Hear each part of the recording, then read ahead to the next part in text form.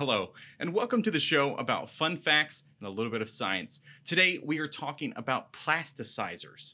This is a substance, typically a solvent, added to a synthetic resin to produce or promote plasticity and flexibility and to reduce brittleness. Basically, plasticizers are like the cartilage between your bones, uh, help your knee bend without friction. In plastic or rubber, this makes a more flexible, less hard product. Over the years, we have learned that these plasticizers can make their way into the human body, which is why you will see something like BPA free on the side of your water bottle. BPA, or bisphenol A, is a chemical produced in large quantities for use primarily in the production of polycarbonate plastics and epoxy resins. The reason companies will state that their product is free of this is because of the possible health effects on the body, such as cancer, infertility, fetal development issues, heart disease, diabetes, and weight issues. Weight issues? Hey, have you gained some weight recently? What? no, no, no. That's just a bunch of bisphenol A that's kind of built up in this region. And recent research suggests that even small amounts, as approved by the FDA, can cause brain damage. This is a widespread concern we have essentially been aware of since 2003. The CDC found detectable levels of BPA in 93% of 2,517 urine samples of people ages 6 and older. If you're enjoying this episode, why not click that like button and subscribe? Let's talk more about this down in the comments. How does BPA get into the body? Well, pretty much from eating and drinking. Considering how important eating and drinking is to our survival, it sounds like that's a pretty big concern. BPAs can attach themselves to food through the packaging that the food comes in. Polycarbonate and plastic tableware, food storage containers, water bottles, baby bottles, toys, and even canned food can have these plasticizers. The biggest factor that can cause these plasticizers to get into the food is heat. So stop using plastic dishes to heat up your food in the microwave. And if heat is the biggest factor, then how do you warm up baby's milk in the bottle? I guess this means no more plastic baby bottles then. If you're thinking, well, I'll just breastfeed my baby. Okay, but BPAs can be found in breast milk too, which I guess that means stop heating up your breast in the microwave. so, what happens to our brain? Ingesting plasticizers can impair important brain functions in humans. Even small amounts of BPAs and BPSs can disrupt the transmission of signals between nerve cells and the brain.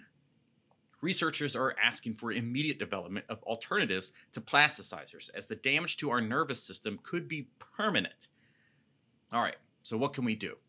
Considering that BPAs are in a lot of products, how can we protect ourselves?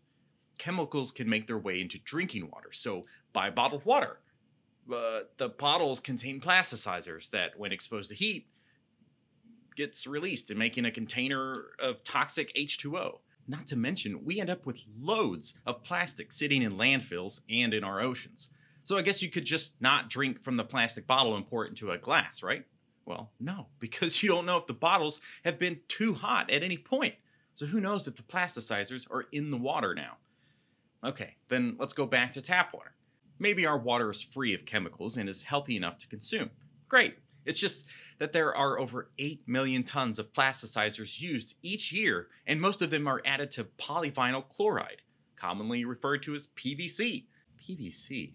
Why does that sound so familiar? That's because it's that white piping you see under your sink. So all your water travels through PVC piping and into your sink. But don't be afraid because these are not flexible pipes. Remember? Earlier, I stated that plasticizers are used to make things flexible. so these pipes are PVC, and most plasticizers are in PVC, but not the piping kind of PVC. They are in other things like shower curtains, the cover around cables and hoses and tubes. Oh, thank God. So let's get to the what can we do part already.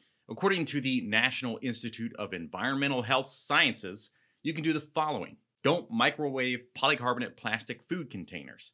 Polycarbonate is strong and durable, but over time it may break down from overuse at high temperatures. Plastic containers have recycle codes on the bottom.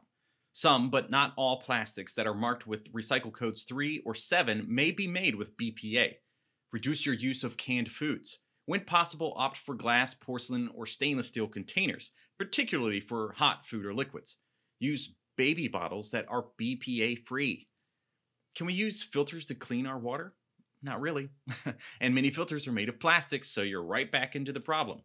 The known method of removing BPAs from water is by adding TAMLs and hydrogen peroxide to the contaminated water, with a success rate of 99% reduction in just 30 minutes. Awesome! Where do I get some uh, and what are TAMLs? It's tetramidamycycle ligand, and well, let's just say it's a solution that is done in a processing facility and waste management. There are some water filters out there that do not have plastic in them. So when you research for a good filter, just make sure it mentions BPA. There are several articles out there that review a few brands so you can buy with confidence. Another reason we have got to get back to all the natural foods that are fresh. I mean, this is getting insane. Technology should be making our lives better. But if we keep creating things like this, we are in for a really bad future. As always, thanks for watching, and what did you learn today?